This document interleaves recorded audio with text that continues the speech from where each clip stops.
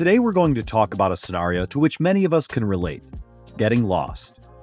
Whether you're on a camping trip without your designated super navigator friend, or just trying to find a new location in the dark, it can be genuinely scary to not know where you're headed.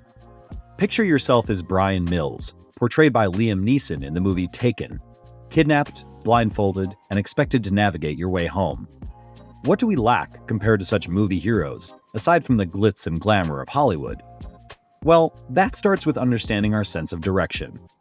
Our ability to navigate comes from the interaction of a multitude of senses and brain cells.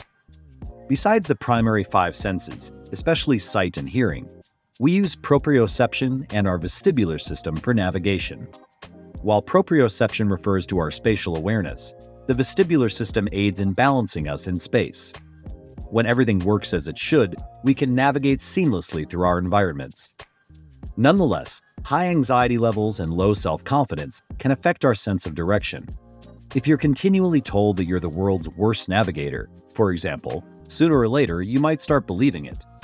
There are other reasons as well, such as our modern over reliance on GPS technology.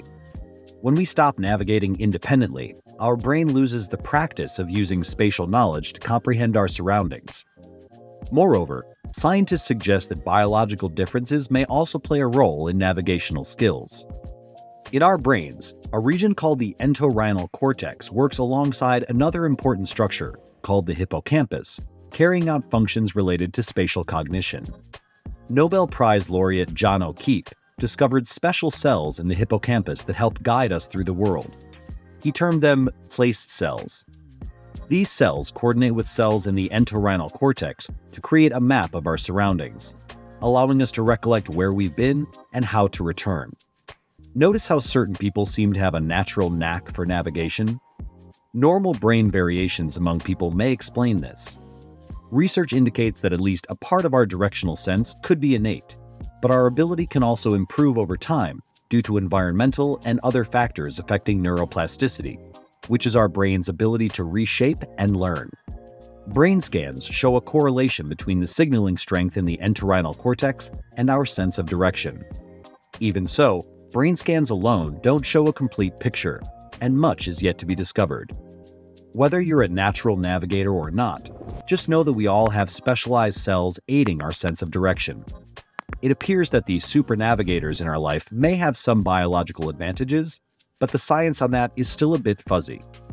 Logically, going old school and occasionally ditching the GPS could help improve your sense of direction, so long as you're safe, of course. While our current understanding of innate directional sense is born out of numerous research efforts, the world has a lot more to learn about our brain and its many functions. For the time being, good luck and bon voyage on your real or hypothetical journeys. If you enjoyed this video, we'd love to hear from you in the comments section. Your feedback not only supports us, but also helps our channel reach more viewers and continue to grow.